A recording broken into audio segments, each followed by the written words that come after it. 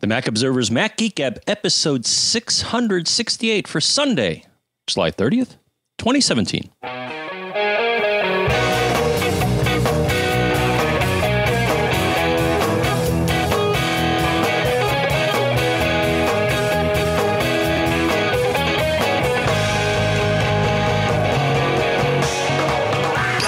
Greetings, folks, and welcome to the Mac Observer's Mac Geek Gab, the show where you send in questions, tips, cool stuff found, all of that stuff.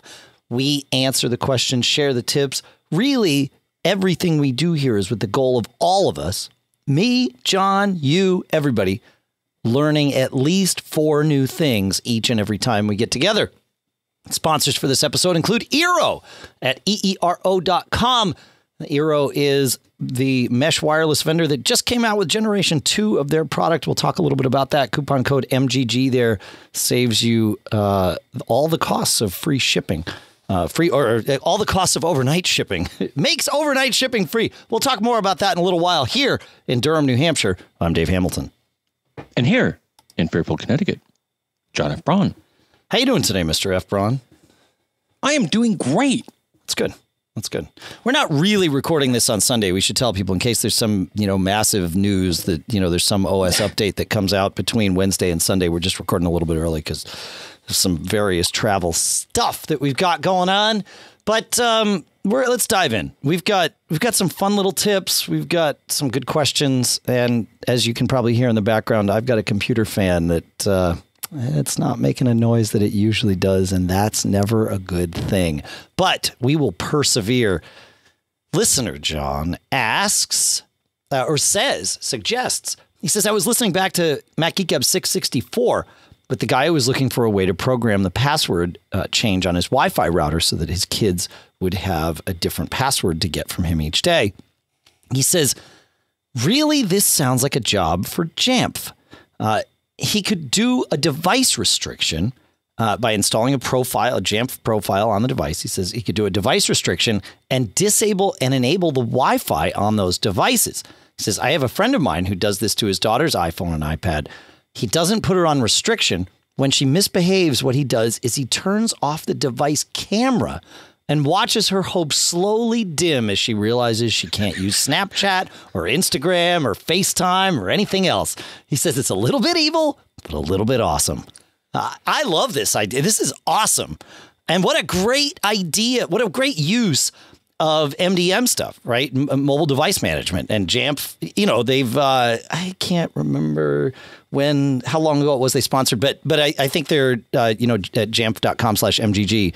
Um, you can get the, you know, a, a trial or, or something. I should know that. I'll, I'll look that up, but, uh, You should. yeah, but there you go.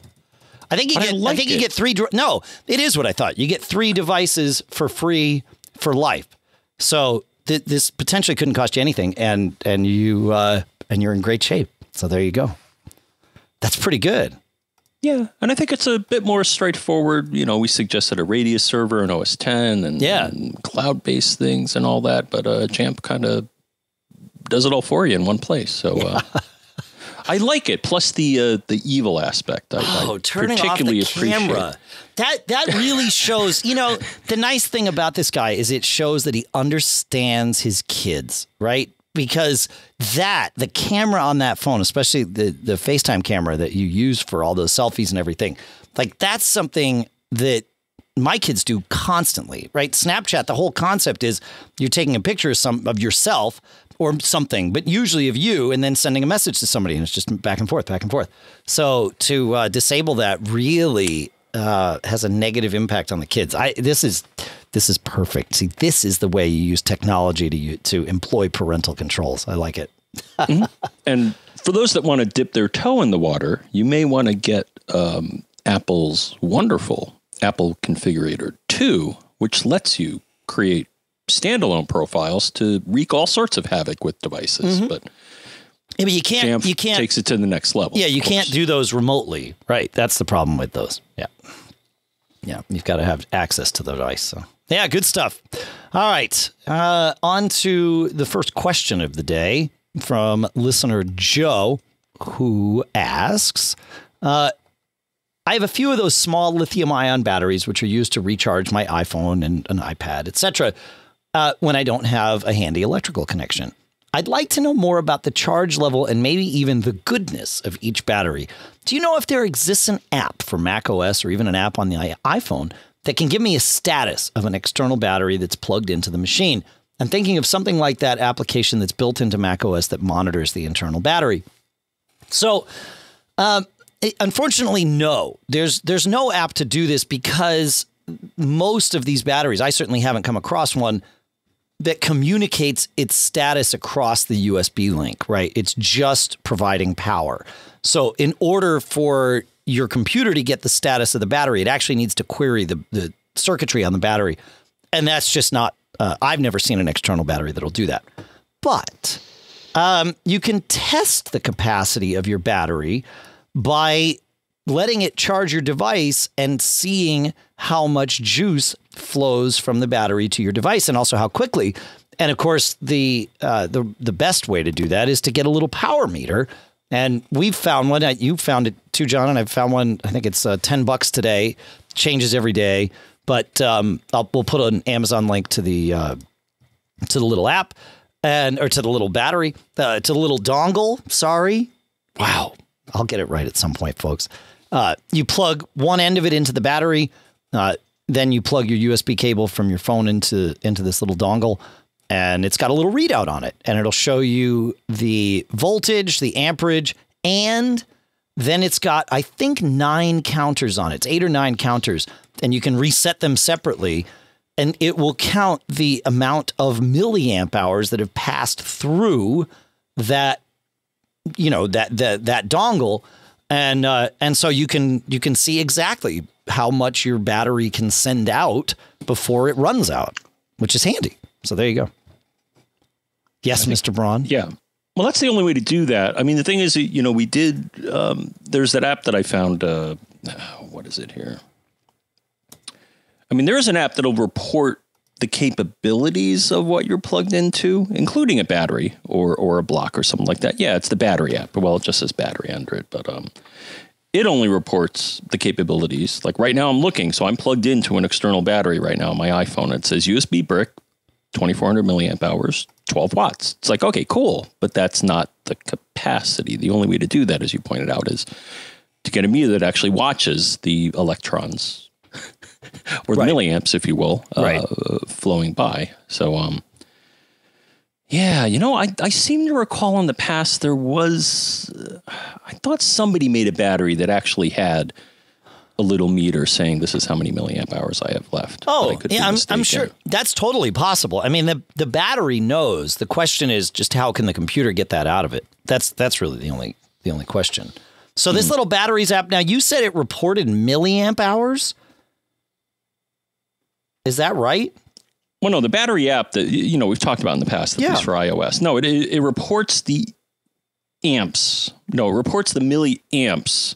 Oh, I see. The capability in milliamps of the battery it's connected to. Okay. That's not the capacity. It's it's the capability. Got it. Got yeah, yeah, yeah. That right. Right. Okay. So not capacity, but just it, how how much could it possibly send? Ideally, yeah. if it was at full right. charge, which of course all batteries, at least with current technology, will lose their capacity. So that's what I'm asking. Okay, so my question is: Is it reporting the full capacity, the maximum capacity of that battery? And you're saying yes.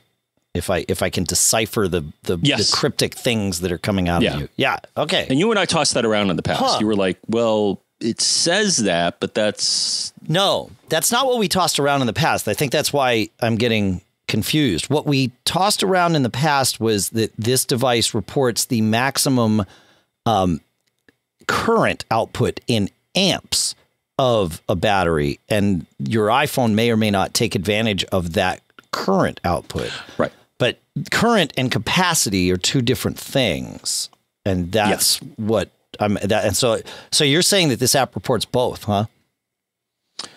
No. Okay. No, it's just reporting. So this battery I'm, I'm connected to right now is yeah. a uh, is the MyCharge. Okay. A very nice one, uh-huh. and it has uh, high powered ports that offer 2.4 amps. But um, Got it. Okay, so it's just reporting that the battery's capable of outputting. Okay, now I understand what you're saying. Okay, just wanted to get to the bottom of that. Okay, yeah. So the only way is to measure with with an external meter, and this power jive meter. These things are awesome. I, I you know, for ten bucks, I highly rec- recommend it. It's good stuff. You you found that, John. That was a nice little find. So well, it's also a learning tool because you you help me understand the difference between the reported and the actual. And right, I right. hooked it up, and it's like, well, no, the, this many amps are flowing right, right. versus this is what the device says it can do. Yeah. So um, Yeah. Well, So your if you- iPhone your iPhone won't take more than it can safely receive is really what it comes down to. So cool. All right. Fun. Moving on to uh, Harvey. I might as well go here and see what we can do. John, I'm curious your thoughts on this too. Harvey says, I have a friend who is plagued with multiple copies of pictures and photos, both on her Mac and on her iPhone. It seems that iCloud Photos, which she has enabled, must be the culprit. The question is, how can I put a stop to this? He says, I bought her a program that weeds out duplicates, but it proved to just be a temporary fix. They all returned. Okay.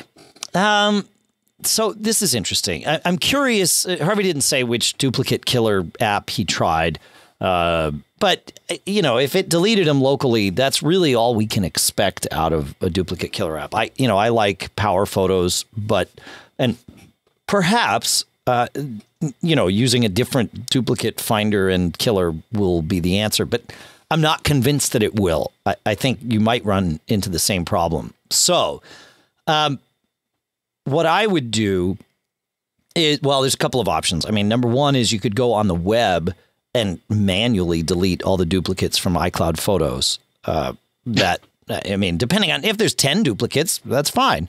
If there's a hundred or a thousand or even more, eh, probably not fine, right? But that is one way of doing it. You can manage your iCloud photos at least from that level uh, on the web.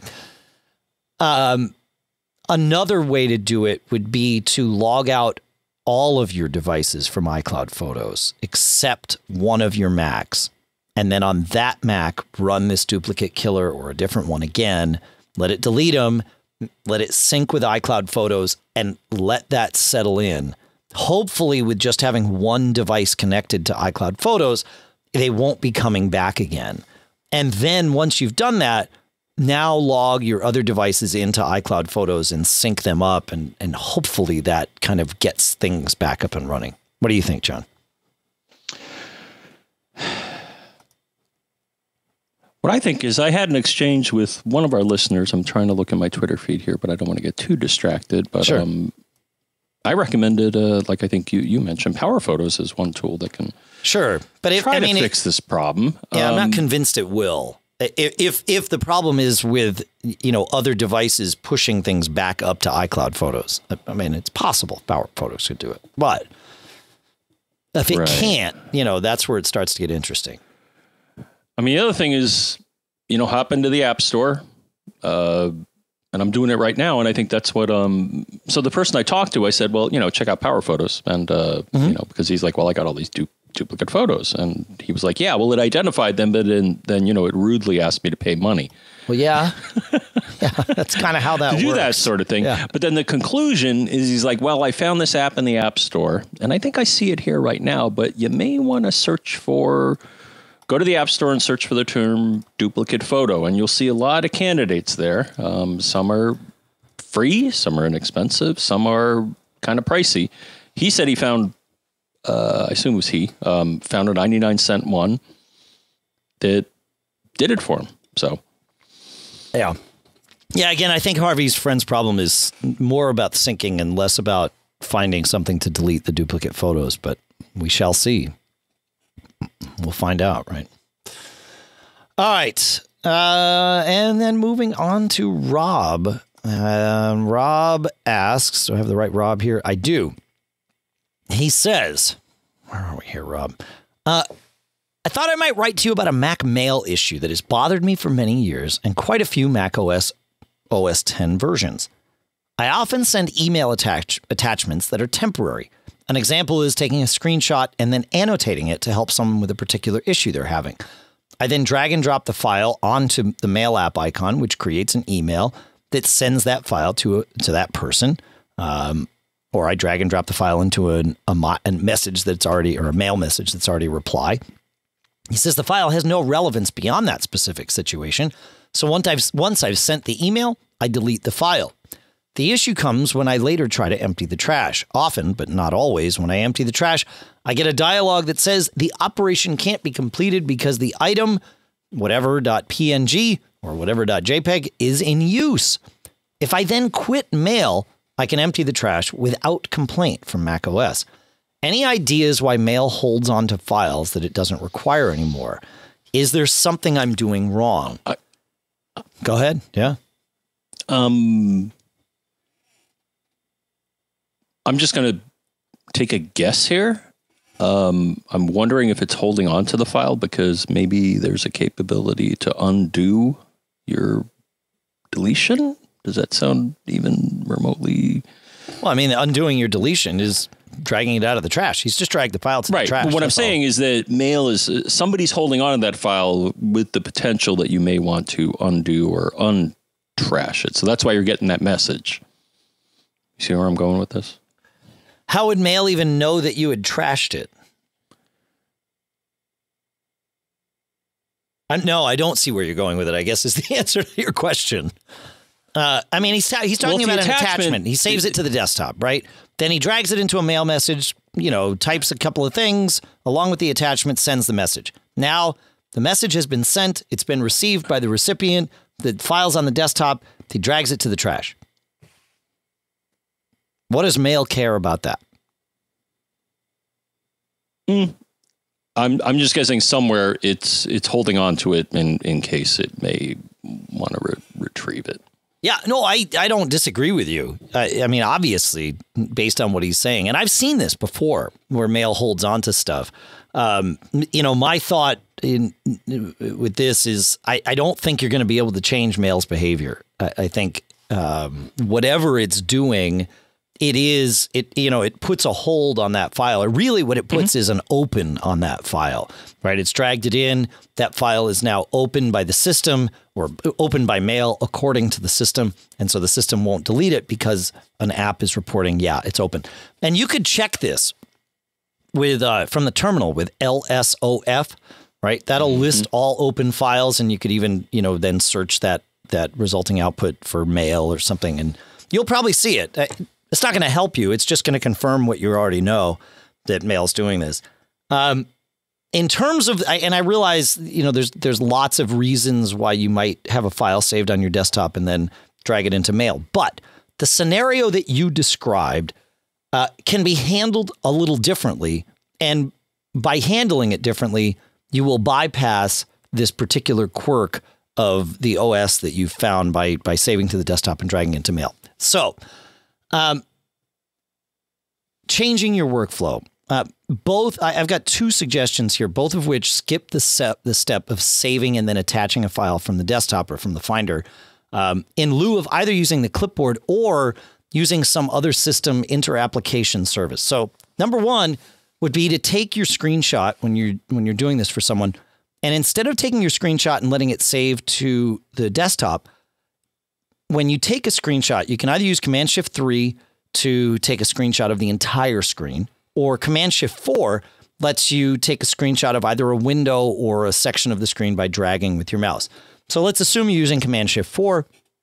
Uh, if you do it with Command Shift 4, whatever you do will be saved to your desktop unless you've gone and changed your preferences to save it somewhere else.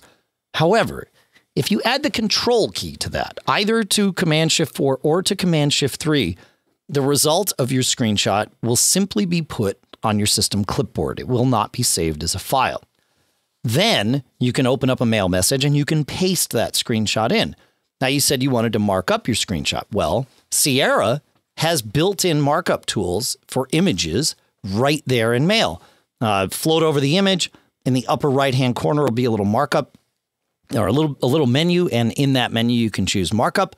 And from there, you can draw arrows and do all sorts of things that will probably get you at least most, if not all, of what you need. The beauty of this is once you've sent the message, there's nothing to delete because it only ever existed on the clipboard. So that alleviates this particular symptom because you're not doing it that way. The other way to do it is the same thing, screenshot to the clipboard, and use an app called Skitch. Skitch was acquired by Evernote, but it is available uh, still from them for free. And uh, and Skitch lets you do a lot of that same type of markup that um, that that Mail has built into it, but it, you can do a little bit more. And in fact, Skitch even offers an extension so that it adds itself to the markup menu in Mail. So you've got it right there. Uh, even if you just use Skitch though and don't use it as part of Mail's markup, when you're finished, at the bottom of Skitch's menu is a little JPEG or PNG icon, depending on you know what format you want to export this in, and you can take that icon and drag it into Mail, just like you've done with the icon from the Finder. Again, the beauty of this is, is it's using inter-app communication. It's not saving it as a file on your desktop, so you don't have to go and delete it. All the temporary stuff will be dealt with by the OS in the background. So changing your workflow a little bit might alleviate this problem, or at least bypass uh, this symptom. So there you go. Those are my thoughts on it. The final thought I would have is you may want to create a new mail message. And then if you go to the file menu within mail and say attach files, maybe taking a different path. No, oh, instead of dragging it in, you mean just just using I, the. I'm, I'm the curious sure. if yeah. doing that would uh, makes mail react differently. That's totally possible. Sure. Yeah. Yeah. Yeah. Yeah. That's worth trying. If one way doesn't work, try, right. Try right. another. Yeah. And and the other suggestion is don't do that. right. Yeah. Do it. Just do it differently. Yeah. Yeah. Yeah. Well, and I figured, you know, a lot of folks might not know how easy it is to use Mail's markup or might not have known about Skitch, or folks might not have known about the. Uh, in fact, you could have gotten at least three of your four new things just in this question alone, just by learning about the hmm. control key. And maybe maybe you didn't know that Command Shift 4 exists. Oh, let me throw the fourth one in. I said when you do Command Shift 4, what happens is you get a, a little crosshair or Command Control Shift 4, same thing. You get a little crosshair and you can draw on your screen to pick the area of your screen that you want it to uh, take a screenshot of. Well, if you hit the space bar while that crosshair exists before you've started dragging, the crosshair changes into a camera. And you'll notice as you float your mouse over windows, the entire window lights up. And as you might guess, clicking when your mouse is over a window will take a full screenshot of just that window and not any of the other windows around it or behind it. So you can get a really clean screenshot of a single window just by doing, you know, command control shift 4, hit the space bar, now float around your screen and it'll even take screenshots of windows in the background and it will take the entire window. So it's pretty cool. Uh, handy little feature. So there you go. You might have gotten your all four of your things. Now everything's gravy. okay, we're done. Bye. That's right. We're done. That's it. Hey, um, before we're done though, I, I want to talk about um, I, I want to talk about our sponsor. I this is this is going to be it, it actually to you it will sound like a very standard um, Eero spot, and it is. Uh, but there's a whole backstory here that anybody that's interested in the future of, of podcasting and all of that might or might not be interested Whoa. in. John, you still there? Yeah. Okay. No, I was just uh, uh, amazed at the uh, the the impact of the upcoming message here. Well, it's not. I mean, it, it's it, it, it, may be very impactful. Well, I may be uh, amazed. But yeah, but we'll but there's an an entire episode of the uh, Small Business Show podcast that I do with Shannon Jean every week that came out uh, on Wednesday, July 26th. I believe it's episode 129. I'll put a link to that in the show notes. Feel free to uh, to listen to that. It's about a 30 minute episode, and I would say 20 minutes of it talks a lot about the relationship, especially as, as far as I see it, between uh, us and you, our listeners, and and kind of everything that we have going on here. So interesting stuff. But uh, but that being said, John, is it all right for me to talk about our first sponsor here? I, I insist. Cool. Uh, our first sponsor today is Eero. Uh, as I mentioned at the beginning of the show, Eero is a mesh wireless company. We've talked about them a lot here on this show. Chances are most of you already know a lot about Eero, but there are some new things, some things that have changed with Eero. Specifically, Eero has just launched the second generation of their hardware. Uh, anybody that's heard me talk about mesh has heard me say uh, the most important thing is hardware, except that the most important thing is software. And really, what I mean is that uh, you can't change the hardware once you've bought it, but you're also stuck with whatever software your mesh vendor chooses to ship and update to you. And Eero has been on the forefront of adding new features and doing all kinds of great stuff with the software. So to see them come out with new hardware is awesome. Um, the two pieces of hardware that they've come out with number one is the Generation 2 Eero unit, which looks exactly like the original Eeros. It's kind of a little Apple TV shaped puck, but instead of just having two radios in it, it has three. They've added a third or a second uh, five gigahertz radio. So it's got now two five gigahertz radios as well as one 2.4. And the nice part about that is, is it really kind of frees things up, especially in those scenarios, which is most of them, where you've got wireless backhaul. Uh, where you know the Eeros are all talking to each other wirelessly. This gives you an extra band for that to happen. Eero also added a piece of hardware called the Beacon. Now the Beacon is uh, something that just plugs right into the wall and stays right there on the wall. The beauty of the beacon is you don't have to put it on the table. You don't have any cords or anything. It just plugs in and it is your mesh access point now. So you've got your main one that plugs into your router and then these beacons. And in fact, all the new kits, kind of the standard new kit, comes with one Eero and uh, and two beacons. Although you can get it with one beacon if you want, or you can get it with you know three Eeros. And the beauty is you can mix and match these things. If you've got an existing Eero setup, but you want to add another access point, you can go and buy one of these beacons. It is backwards compatible with what you have. I've tested this stuff. Um, I've actually got Eero set up here in the office with the the second gen stuff, and I've also taken one of the beacons over to my dad's house where he's got the first gen Eero set up, and it's seamless. And what's really cool is the new Eeros and the new beacons add support for something called Thread, which is sort of the next generation of uh, a technology that lets you talk to all of your Internet of Things devices that don't use Wi Fi. And the beauty of that is having it all in one device.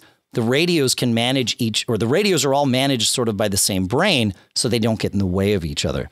So you got to check this out. Uh, go to eero.com, E E R O, uh, and you can place your order right there. And when you place your order, add overnight shipping to it. And they're going to put the cost for overnight shipping to you right on there. Then add coupon code MGG. That cost is going to be zero. So you get free overnight shipping when you go and buy Eero through this. Like I said, I've been testing this stuff here. And I, you know, even it's, it's, the experience is similar to the first time I tested Eero. I plugged it in and it works. And you're you're actually running your entire house is running Eero, isn't it, John? It is. And uh, you know the thing that tickled me, we we saw them in a recent show, Dave, and uh, the industrial design of it is very clever. I agree. Yeah. Um, the one thing they shared with me, I'm like, well, why do you have it shaped kind of not an entirely square? Yeah. And they're like, because we don't want you to put anything on top of it. Oh, if you look at the design, yeah. the curved top is intentionally designed so you don't stack something on top of it because I assume they're block the it for heat antennas. dissipation. Oh, yeah, yeah, and just yeah. call all sorts of grief. But Sure. the thing is that, that their industrial design uh, just shows uh, how good these guys are at what they do. They're like they're. The thing is, if you try to put something on top of it, it's going to fall off. It's going to slide off. Yeah, yeah, yeah, yeah. Yeah, I've Because never you- been tempted to put anything on it because it's just not shaped that way. That's fascinating. All right, well, check it out. Go to eero, com. And again, coupon code MGG after you add overnight shipping. We'll make that for free for you. Our thanks to Eero for sponsoring this episode. All right, John.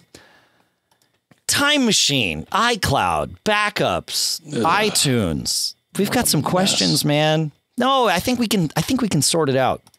Yes, we'll we start with we'll start with Greg.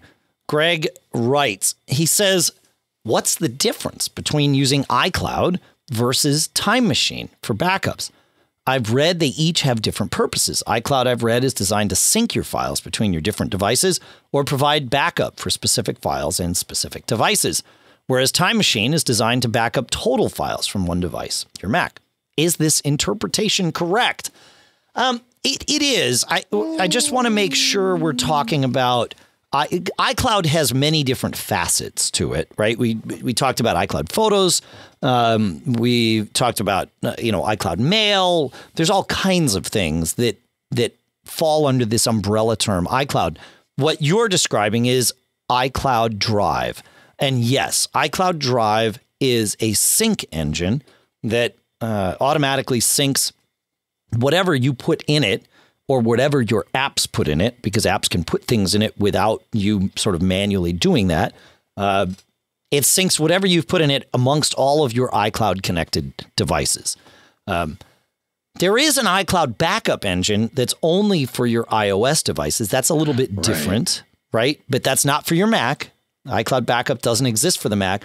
Although, again, you know, iCloud Drive, if you choose to add your documents and your desktop and things like that to it, which you can with Sierra and, and later, uh, then those things are synced amongst your computers. Again, sync is not backup. We've talked about this, but it it you know it can still save your bacon if you wind up having a problem. Time Machine is more like what I would consider backup to be, although there are some significant flaws that we could sit here and argue that Time Machine isn't backup either. Well, in that there's no verification done, right? So it saves these files off to your Time Machine drive, but it doesn't confirm that they actually made it. So does that mean it's not really backup? Some would argue, yeah, that's exactly what that means. It's almost, but not quite a clone. Well, no, Time Machine's not a clone because you've got well, multiple iterations on there, and you can't boot. Well, I uh, I would differ with you, my friend, because the thing is, if you do have a Time Machine backup and you set up a new Mac and you want to restore the contents of your old Mac from a Time Machine backup, you can do that. So it's uh, so do you see why I'm saying it's kind of a clone, but not entirely. You can't boot from it. Right. Yeah, I would can, say it's a backup. I mean, it. Clone, okay, it's a backup. Yeah, because a clone uh, to me, to me, a clone is a bootable version of. It's a bootable copy of what yeah. you have. A and backup, it's everything, right? Time Machine doesn't include everything. Your operating system, in particular, is completely right. omitted from Time Machine. So, right, but like I said, if you're setting up a new Mac and you want to migrate the contents of an old Mac, yeah, you can do it from a Time Machine backup. But but it's not. Uh, yeah, technically, it's not a clone. It's right. it's a pretty thorough backup but not everything. So it's not everything. No, but it is when it's functioning well. I, I agree with you. It is pretty thorough, and re- restoring from it is cake. Again, when it works, and so we'll just put that asterisk over everything we talk about with Time Machine. But when it works, like I use Time Machine largely because I don't rely on it. Right? I know that it's got some problems. I know that it's possible I'll need something out of it and I won't be able to get it. But when I need something that I no longer have that I believe is part of my backups, the first place I go to get it from is Time Machine because the restore interface for Time Machine is so smooth and so easy to use. Mm. So, so there you go. You know, yeah. yeah. And to share with our listeners, the thing is, Dave, you know, it's amazing. Um, when I had prior, uh, be it um, you know the TP-Link Archer C9 or the Apple um, uh, Airport Extreme. Yeah. Uh, doing Wi-Fi time machine backups would regularly get corrupted, and then you get this message saying, "Yeah, your backup's garbage, and uh, sorry, you got to make a new one." I have never, since I got the Eero Dave. Uh, so hats off to them. We'll, we'll give them a little huh. extra plug here. But the thing is, I have not had a corrupted backup issue since I've moved to the Eero. And you're still so, backing up wirelessly from correct. your well Mac. from my MacBook from my MacBook Pro. So the only thing that's like your your right, your MacBook Pro is still connecting wirelessly. Your backup is still where it was previously. The only thing on that's the changed on the uh, on the Synology on the yes. Synology. So okay, so the only thing that's changed is the essentially the router in the middle. Yes, is that I've wow. I have Ever since I got the Eero, oh, I have not received a message that my time machine backup has been corrupted and needs to be recreated. So, You know, that doesn't surprise me. I mean, here's my speculation. I mean, I, okay, so it's entirely possible that just random luck has totally, you know, blessed you, right? But or an OS update could have fixed the bug. Totally. Right. Correlation is not causation. Right. But if we are to assume that in this case correlation is causation, I can actually explain that, right? Because here's the thing. When you had your uh, Archer, you know, just a single router setup. And this is why this is one of those things where, you know, people ask me, what's the benefit of mesh? And one of the big benefits of mesh is that you get, uh, you know, coverage everywhere in your house, right? So, I mean, that that's that's sort of the one that generally sells it to people. But it's not the only benefit. And one of the other benefits is because you've got multiple mesh points throughout your home, more devices can be actively connected simultaneously. Yeah, yeah, I know. Your devices all are associated with your access point all the time. That's fine. They aren't actually all getting to talk at the same time because the way your devices work is only one device can talk to one radio at a time. So with but with mesh, that's also true, but you've now got instead of perhaps two radios like you had with your Archer, now in your house you have 6 because you've got three mesh points. So it's entirely possible that that makes the it makes the connection more reliable and that therefore is, you know, what makes your time machine backups more reliable. I totally see that. Yeah. Fascinating, man. Huh. I think it's worth mentioning. So, what what is the product there? So they do have. Hmm. What are you asking about? Yeah, I'm, I'm, thinking about is is it Daisy Disk, which kind of crosses some borders. So yeah, da- as, um, are you you talking about Dolly Drive?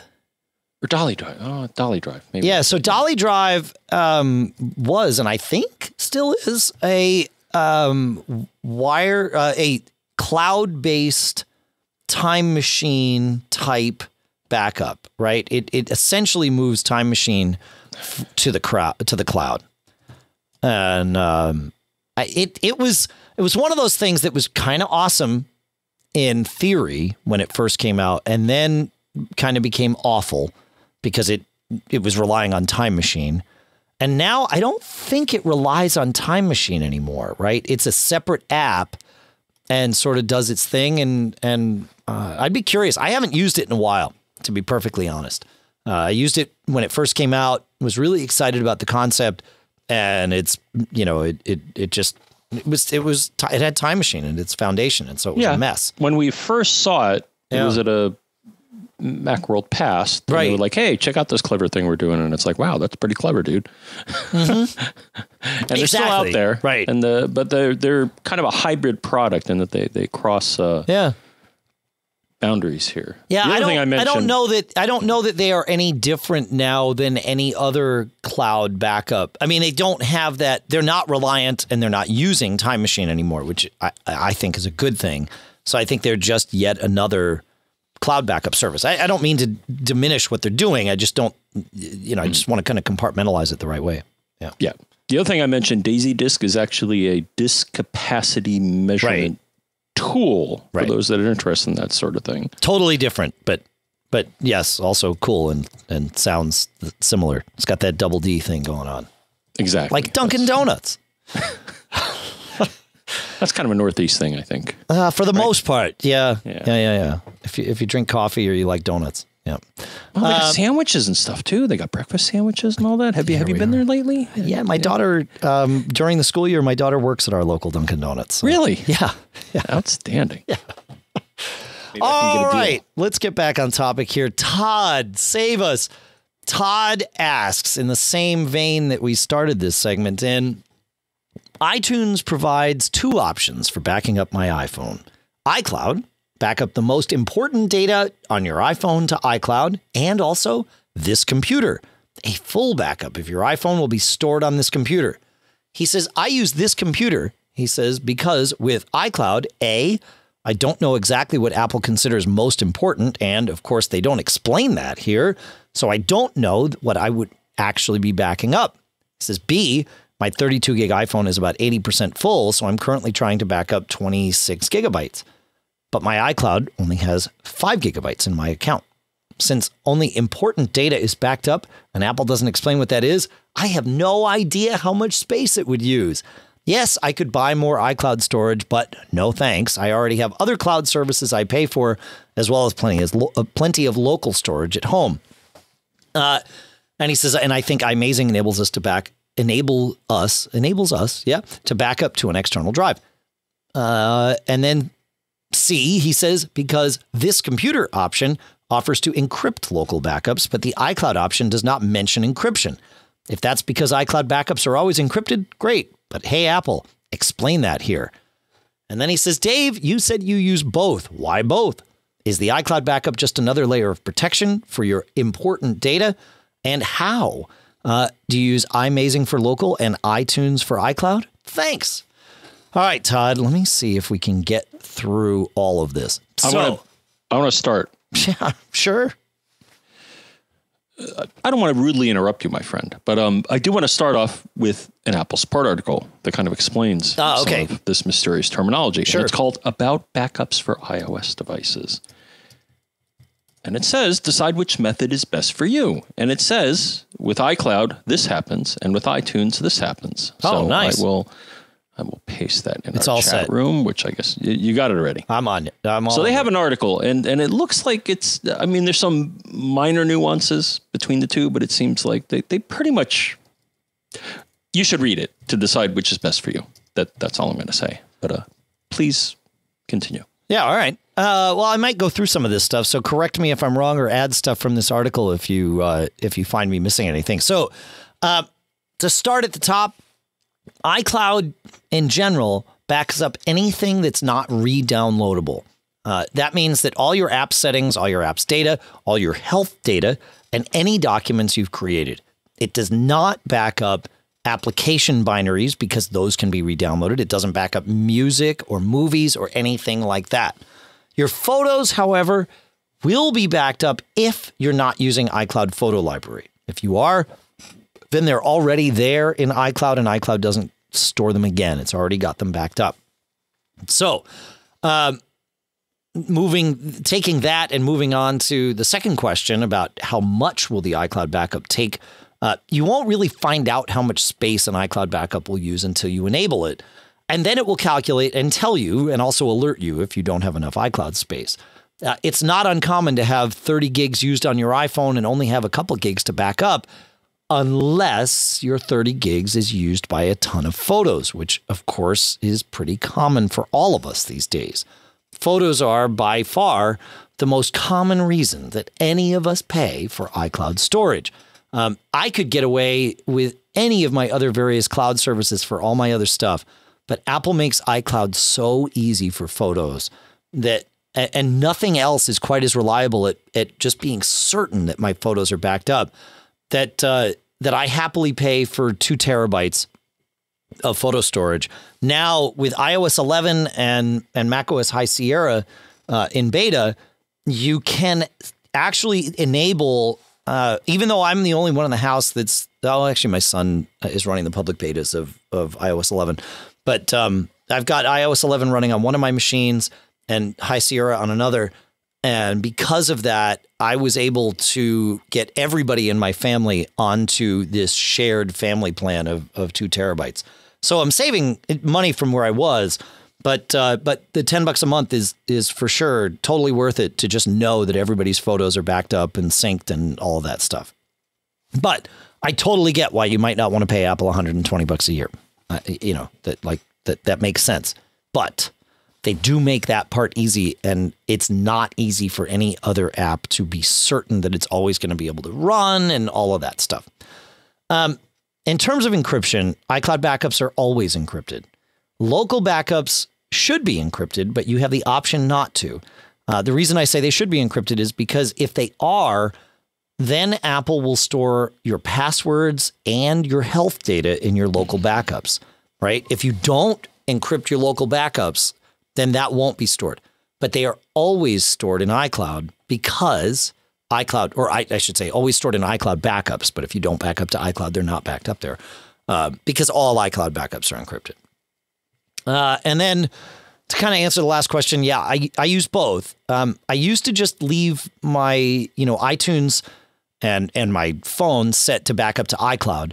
And then every now and then I would either plug my phone in or wirelessly just do it and go into iCloud or sorry, go into iTunes and tell it to back up locally, which you can do.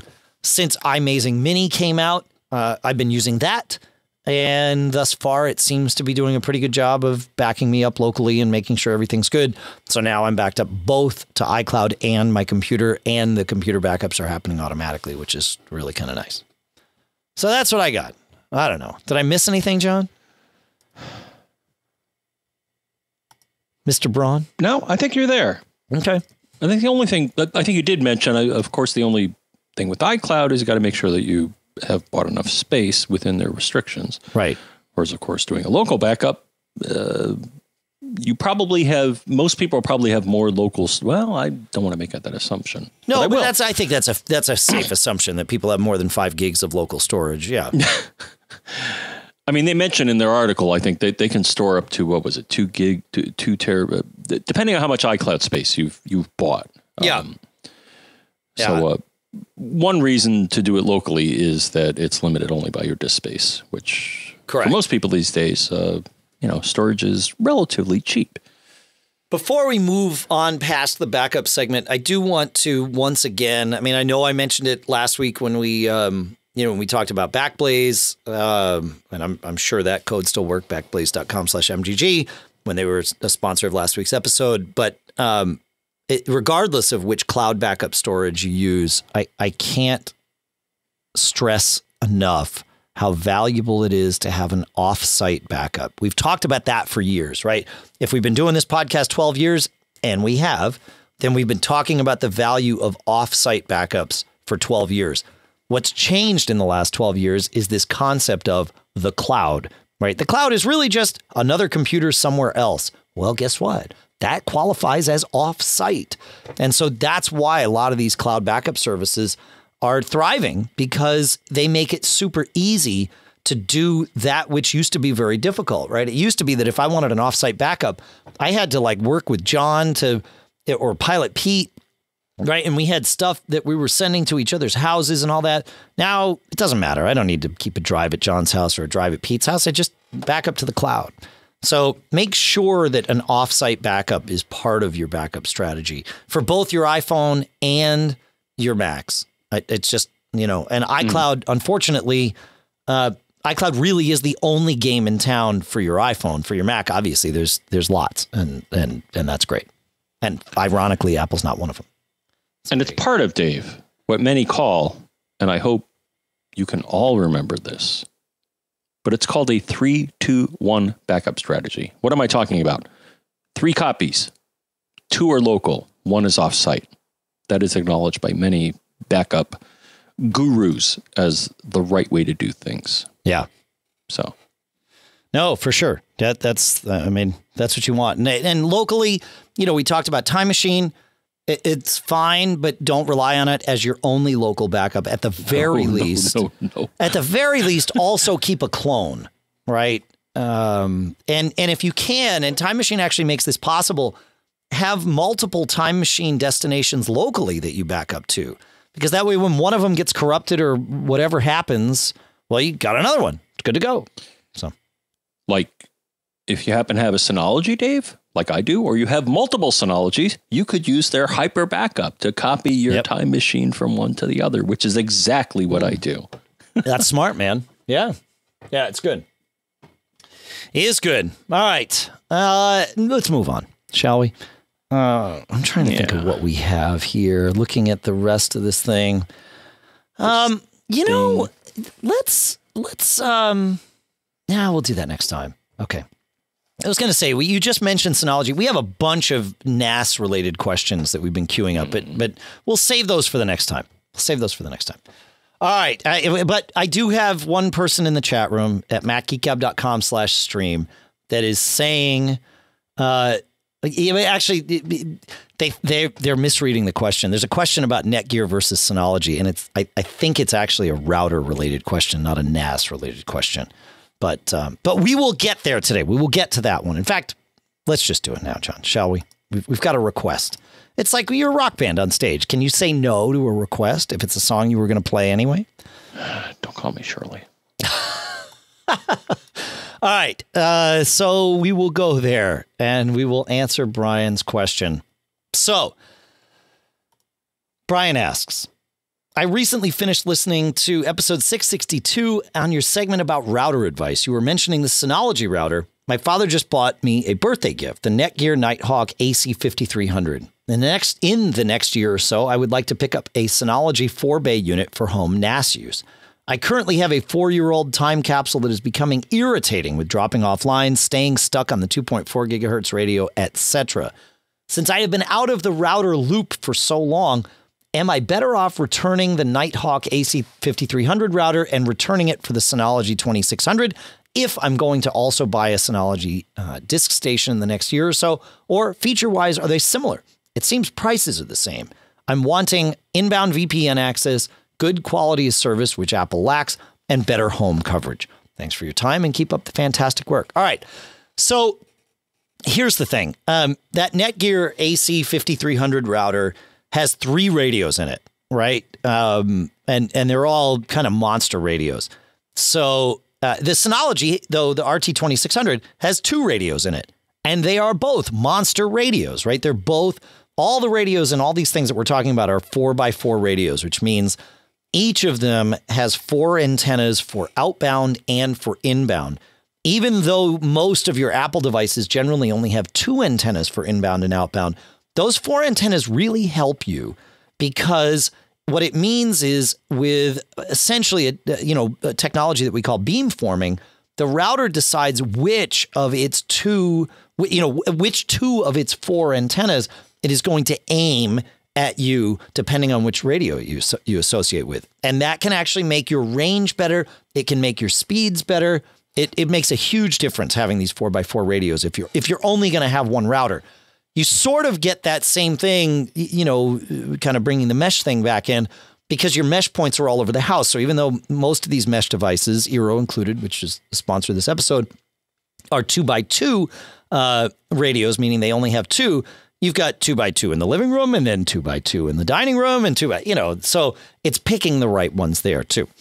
Um, so the big difference between the Synology and the Netgear that you're describing is the addition of the extra five gigahertz radio. Um, if you've got a lot of devices on your network, having that extra radio can make a difference. The Netgear router uses something called band steering so that it balances uh, how many devices are on each radio. If you enable it, you can also disable it, but it will balance those out so that you've got you know, not just everything on one five gigahertz radio and nothing on the other. It balances it out. Like I said before, that means that if you've got multiple devices that are streaming, kind of like John's scenario with his backups, it can move things around and and make your network more efficient. So from a pure radio standpoint, the Netgear beats the Synology. The the at least that Netgear beats the the Synology router. That said, uh, there are some features that the Synology wins. Uh, you mentioned you wanted inbound VPN access. Netgear has it, but it only supports OpenVPN, which is not natively supported on any of your Apple devices, not on your Mac and not on iOS. You can install the app, it's free, and you can configure it, and it's not terrible. Um, but with the Synology, it will support uh, uh, L2TP uh, as a VPN protocol, which is natively supported on the Mac. It also supports OpenVPN. It also supports Synology's own SSL VPN.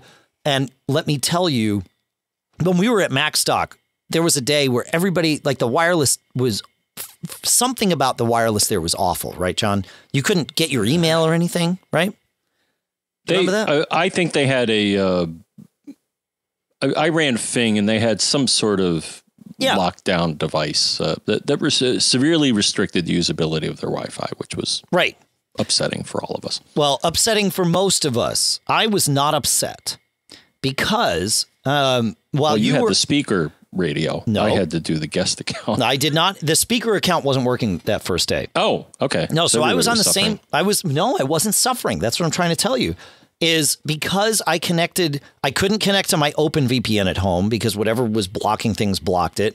Uh, I couldn't connect to my L2TP VPN at home because whatever was blocking things was blocking that. But I was able to connect to my Synology VPN at home because my Synology VPN runs on port 443, which is SSL traffic. If anybody's going to block anything, they're not going to block port 80, which is normal web, and port 443, which is secure web. So I was able to connect no problem. And then from there, obviously, once I'm connected to my VPN, I can do whatever I can do from home.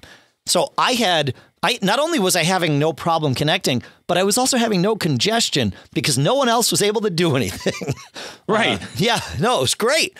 Uh, and you know, when my family was in China, uh, they had the same thing, and you know, invariably that Synology VPN was the sort of the fallback that was like, yeah, man, it works. Now that does require an extra app, but it is this super reliable thing. So VPN, there's no question, Synology wins in in the router world. Not just compared to Netgear, they win compared to anything you would buy in your home. If you want an inbound VPN, Synology's going to beat that. Uh, you talk about QoS. Synology has QoS. Now I'm talking about, you know, QoS is quality of service. It's one of these sort of blanket terms that describes a lot of different things. When I talk about QoS with a router, what I am what what I prioritize is managing your internet connections traffic such that any one device in your home can't negatively impact all the rest of the devices in your home. And I always use the example when you know you got one of your uh, one of your d- devices, maybe your Mac decides now's the time to back up all your photos. Well, you don't want your iPhone and your other Macs to be slow uh, when checking email or surfing the web, just because this other device is barfing everything up to the network proper internet connection QoS can can completely eliminate any issues you might see. The Synology is okay at QoS. It could be better.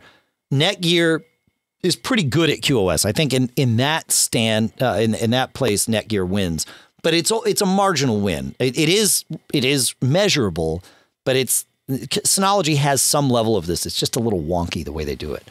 Um, in terms of better home coverage, Again, that Netgear router's got a third radio, but I have that Synology router here. I'm not currently using its radios because I'm testing other radios because things are always crazy here in the Hamilton household.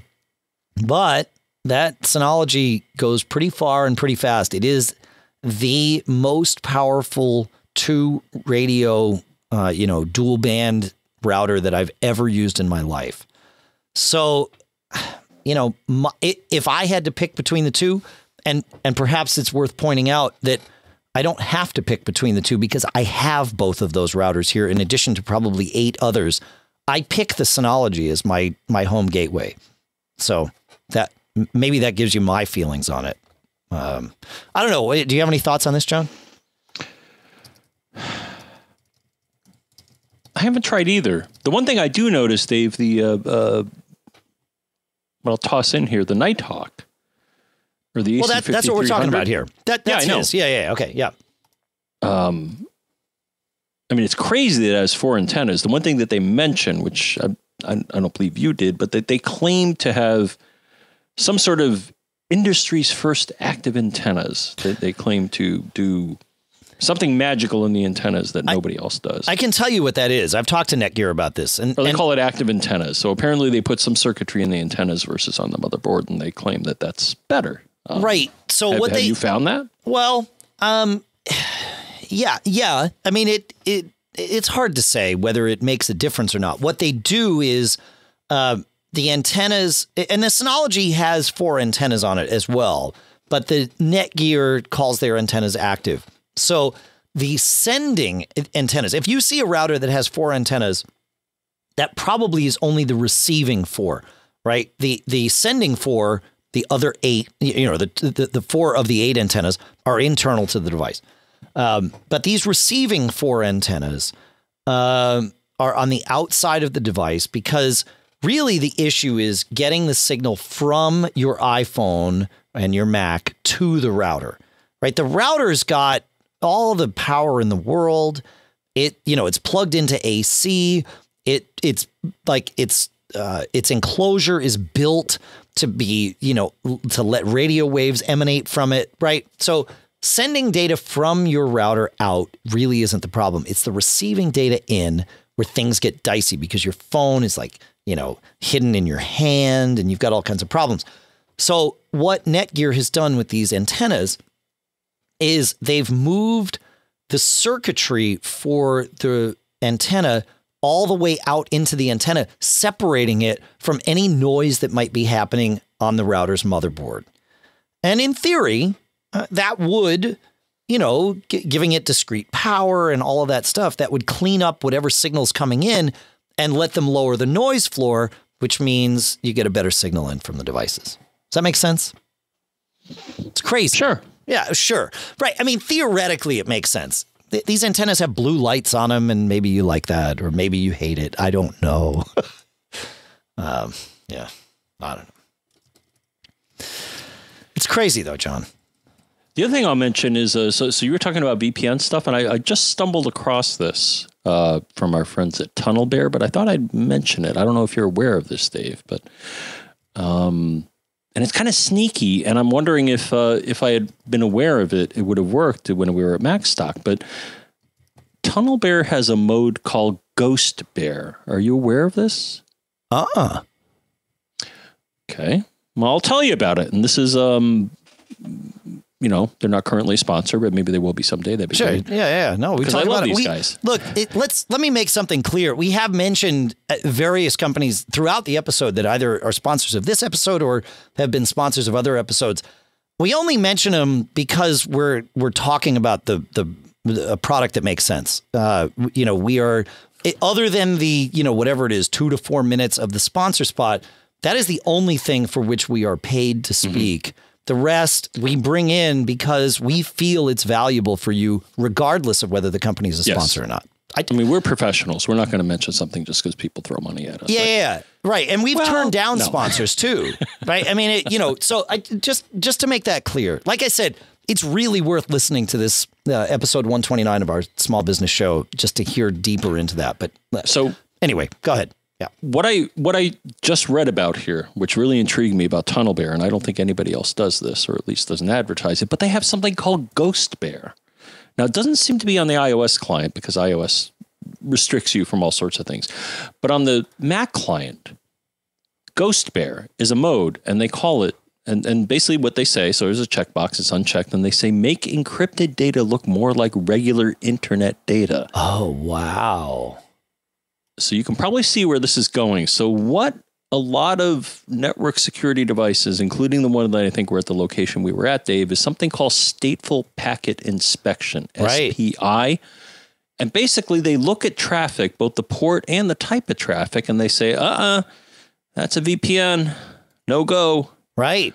Right. Well, they have something called Ghost Bear that apparently will add some fluff, for lack of a better term, to your outgoing data and maybe the port and all that, so it doesn't look like a VPN. yeah, man. It's just, right. No, that yeah, and that's the kind of thing. Right. Yes. Exactly. and it's the kind of the war between you trying to get to the internet and get to Facebook and Twitter and, and do your thing, and people trying to secure their environment and, and prevent chaos.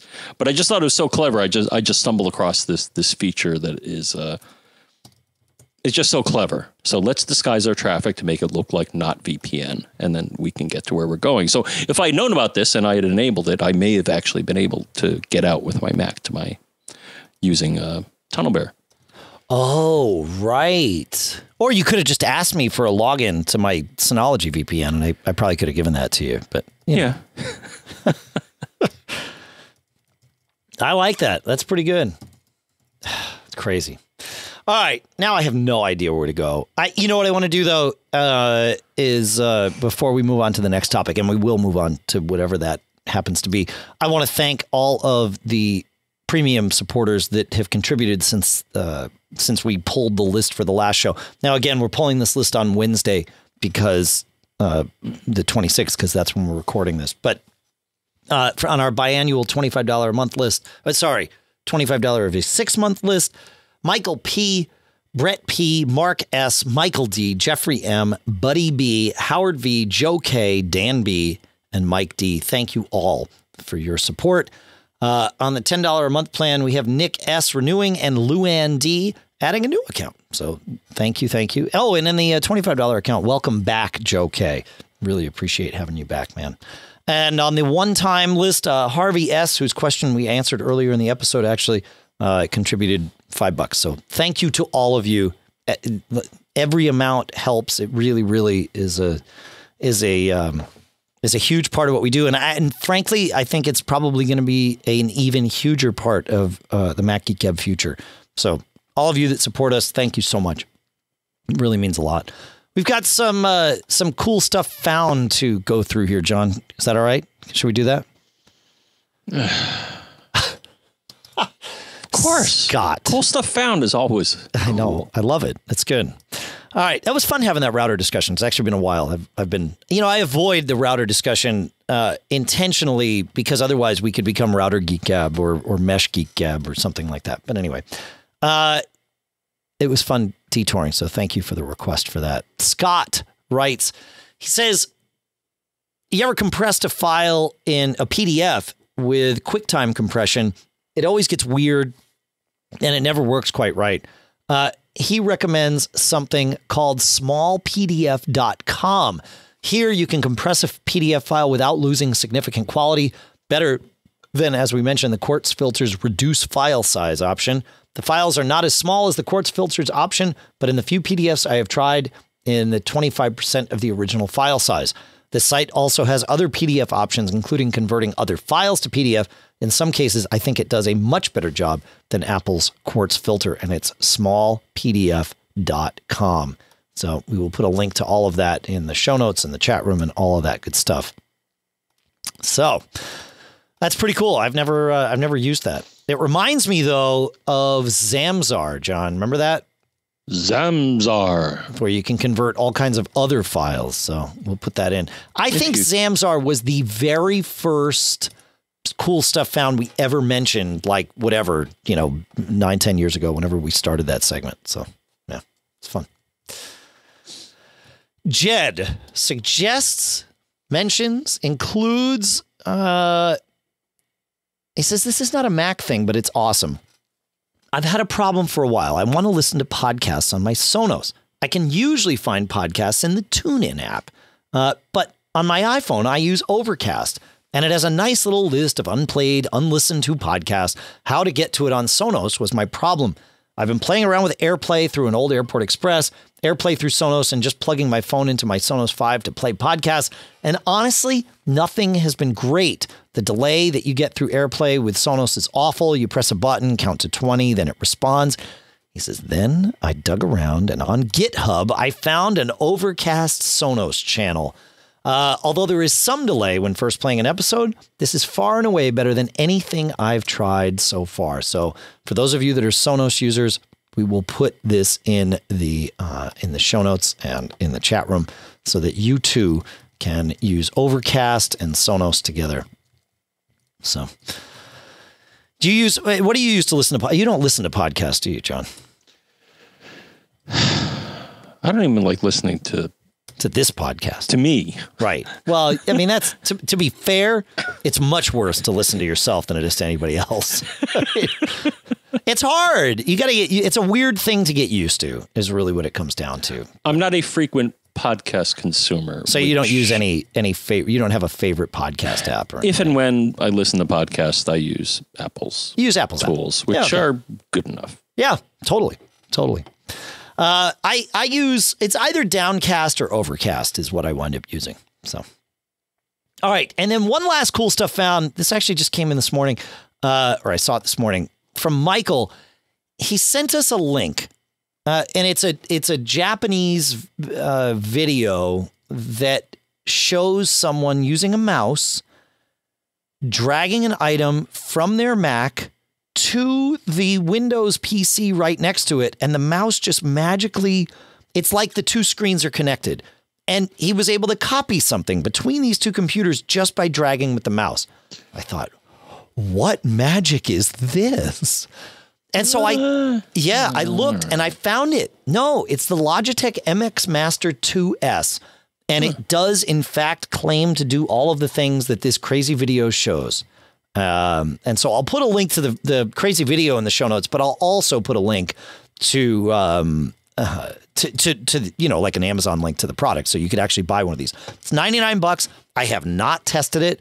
I'm curious to test it, but uh, just like I said, just found out about it this morning. It looks very cool though, this whole concept. And it's not just Mac to PC. It could be PC to PC, Mac to Mac.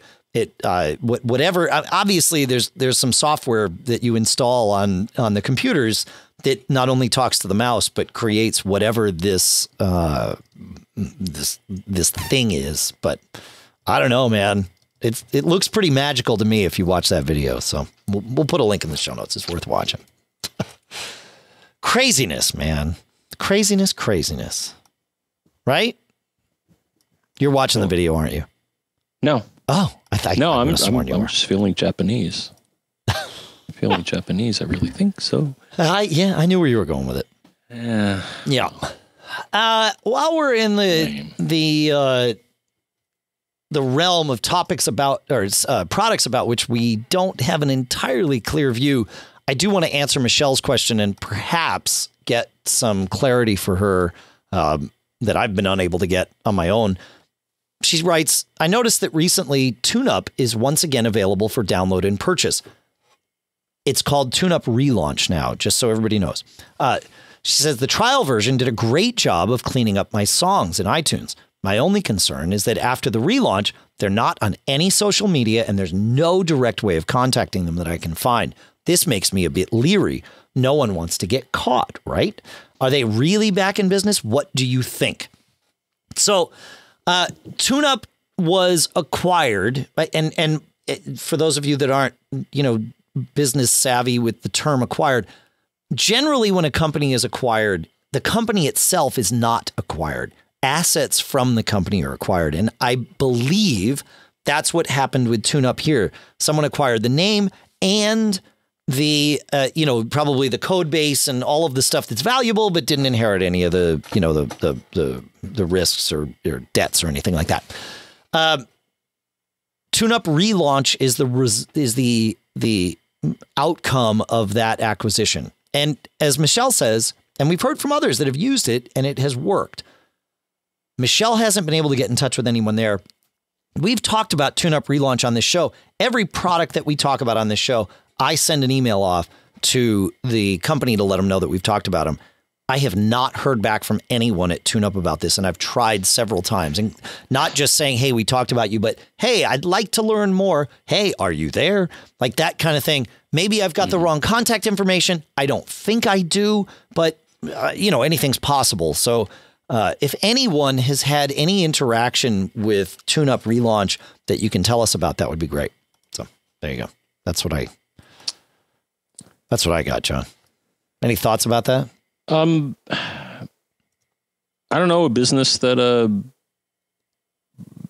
I'd give money to. I'd expect that they would, you know, provide a reliable presence or detectable presence on the internet. Well, that's kind of the thing, right? But you know, so we'll see. We'll see what happens.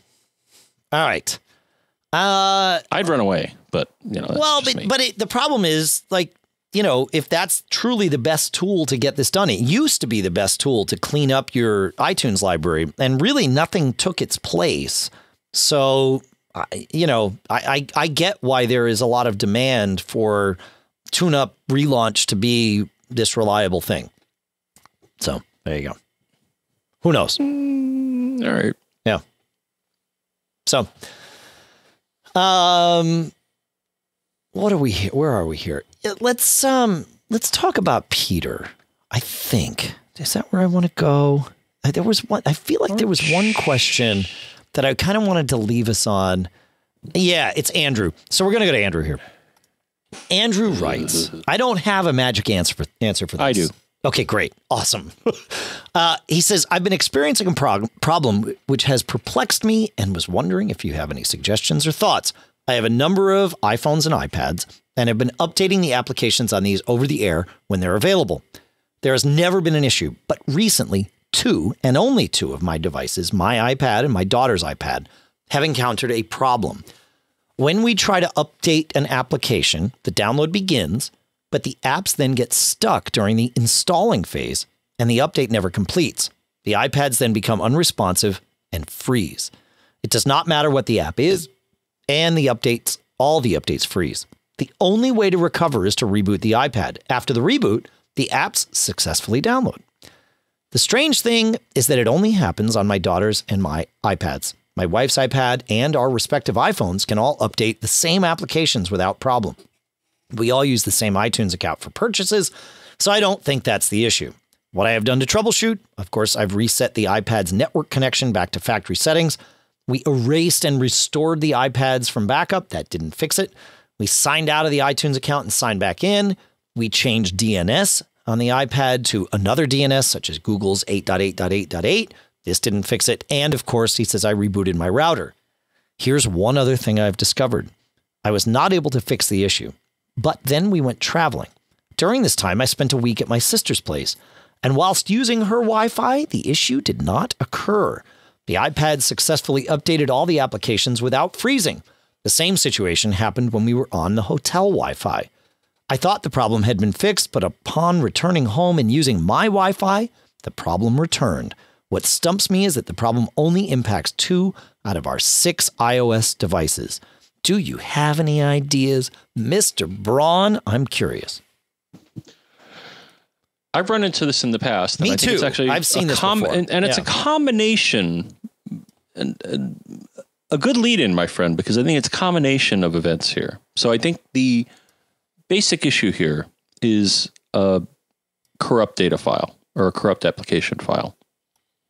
Okay. So, Even though recall- it works on some Wi Fi networks and just not on one? yes, Okay. All right, cool. Yeah, go with me on this. Yeah, I'm know, go- no, I'm- I I'm definitely, kinda, happily. uh, not totally a stab in the dark here, but um, Sure. Uh, so the thing is, we talked about in the past. So I think one facet of this is if if the application file itself is corrupted, you may run into problems that are not necessarily properly identified by the OS, or it just doesn't work. Sure. Now we we talked about this in our last episode with uh, our friend um, who had a problem with doing an iPhone backup, and uh, it said, "Well, it's it's uh, disconnected," but they lied, and that the real problem was the file itself was corrupt. And when it was trying to do a Delta update, which is what an iOS update is, right? Right. As far as I know, um, it's running into a problem. So, suggestion number one, and I've had this work for me. It's upsetting that you have to do this, but delete the app totally and then try to update it again. And It'll probably work. I have had this work for me. So you see it updating and then it says, eh, I can't update. Or you see the, you know, the the circle trying to do its thing and then it doesn't quite finish and Sure. it says update again. And it's like, okay, it's stuck in some stupid data corruption loop. Just Hmm. delete it and try to download it again. It'll probably work. That's one of my answers. The the other consideration that I have, Dave, is that, and and uh, again, uh, due to your brilliance putting together the agenda, it could be that the Wi-Fi in some places is corrupting the data and causing this problem. Yeah. Yeah. And that even though it shouldn't, even though any data transmission mechanism, whether it be wired or wireless, should be able to detect and correct errors, Wi Fi, from my experience, and I think your experience, tends to be more fragile, especially a single point of presence versus a mesh. So Right. that may be why you're running into this, uh, Only at home. in that your particular Wi Fi just mangles data in a weird way and and causes it at home, but not on the routers that you. Which typically, when you're you know at a hotel or stuff like that, typically they're using You're you know, using mesh in a industrial hotel. thing. Yeah. Um or well yeah I mean you know like I've I've scanned you know a lot of them use Cisco or some other solution. I, I don't know if I I mean, it's mesh. Oh no, that's definitely mesh because it's one SSID. You can roam throughout the building. I mean, yeah, for sure. I don't know if I technically call it mesh like Eero, but it but it is a distributed Yeah. Wi-Fi system. And typically, yeah, it's the big boys like Cisco is, is Yeah, mostly right. when when I scan for the vendor. Yeah. it's Cisco Ubiquiti, like. Cisco. Yeah, exactly. Yeah. So that's my speculation is that the file somehow got corrupted, maybe probably due to faulty Wi-Fi, and you just got to wipe it and and start from scratch. That's Yeah. that's what I got to that's what I got to say, and it's worked for me when I have run into this. It's frustrating because it's like, thanks iOS for alerting me to the update, but no thanks for screwing it up. Yeah. Right. Right. No, I totally agree. Yeah, man. Yeah. Craziness. I like I do like the uh, you know the suggestions here. Um, you know what what has been done to troubleshoot it, but Mm-hmm. Yeah, it's pretty crazy. they didn't touch on the fact that somehow sometimes you just got to start from scratch. Well, and maybe maybe starting from scratch isn't the total answer. I mean, it, I I think in in the you know kind of in the moment that's the way to fix it. But or restarting the iPhone. I mean, that's fixed it for him too. But um, maybe not just rebooting your router, but at, short of replacing it, it- although you might need to replace it, uh, you know, doing a factory reset on your router, or at the very least doing a firmware update on it, something to change the way that it's it's talking to those radios, because that sounds like the issue. I, I agree with you, John. Yeah. I mean, it bothers me because every protocol, whether it be wired or wireless, should you know USB, Ethernet, stuff like that, it should all have you know uh, CRCs or checksums. I mean, not, not Yeah. so much checksums because that's baby stuff, but Yeah, yeah, yeah. you know, CRCs are some sophisticated error detection and correction that, that shouldn't allow these sort of things to happen. But I think from what you and I have seen, my friend, uh, wireless communications tend to be more prone to these errors than wired Yeah, for sure. For sure. Yeah, yeah. because wireless is black magic. It's uh, who knows how it works. I, I don't. Well, we know how it works, but but no, no, no. But that doesn't that doesn't mean that that I don't agree with your your assessment of it.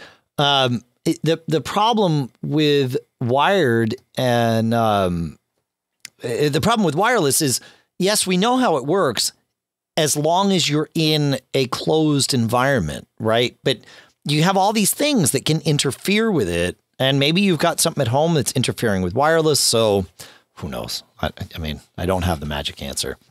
Uh, the magic answer is you get lead shields surrounding your house. and put them around every. But I mean, what happens if it's something inside your house that's causing? Well, you put a lead shield around that as well. whatever so- that might be? In case it, your, your microwave, eh, anything that can generate RF, you, you got to put a lead shield around it. Yeah, if maybe like perhaps it was you know like you've got maybe you know you, you said you have your daughter and and you and and your wife. You mentioned you didn't mention your sons, but maybe you have a son. But maybe your son didn't join you. Maybe he went off to camp with a friend while while the three of you, you know, traveled elsewhere. So maybe it's your son that's emanating this Wi-Fi shielding, so or Wi-Fi um, interference. So maybe you want to wrap your son in in like a lead coat or something, right, John? Is that the? Uh, That's it. that's it. Yeah. Kind of like when you go to the, uh, you know, you go to the dentist. I go to the dentist, right? And uh, you know, when they do the X-ray, you It's a get the lead apron. Dentist is a total scam. no, it's not. No, I think I think it would But be But when cheaper. they put the lead apron, when they do the oh, X-rays, I X-rays, don't yeah. think that's a scam because No, that's not a scam. No, that that that that's there's science behind that. I, I just I think it would be cheaper for us. You know, our teeth are, aren't supposed to last past about like 35 years, right? I mean, our bodies aren't really supposed to last past 35 years, but they do. But our Yeah, teeth science. don't. Right. But here's the thing. Um, I think it would be cheaper to just never go to the dentist. And then when you turn like whatever, 40 or 45, you just rip out all your teeth and replace them all with uh, implants. And then that's what you use. Yeah, dentures or whatever you want for the rest of your life. Maybe you got to do it when you're 30, but I still think that's cheaper than a lifetime of routine dental care. All right. I think. if I- I'm going to get the teeth replaced, I'd rather go for like the James Bond Jaws. Jaws teeth, man. See what I mean? There's Come on. like I mean, if you're going to get artificial teeth, Yep. you might as well weaponize them, right? Mm-hmm. Because you never know when you're in a situation where you're going to have to bite through uh, a steel cable, Yeah. right? Yeah. I don't I mean, know. I, am I that's, right? That's been my feeling about the dentist for a long time.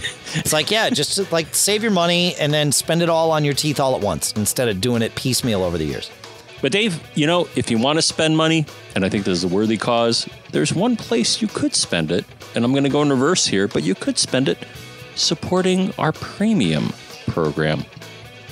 I agree. pay the bills. It makes it, it, it makes you feel good because you're supporting your two favorite geeks, and it makes us feel good because we can pay the bills and we won't be living in a box on the corner. It's hard to podcast from a box.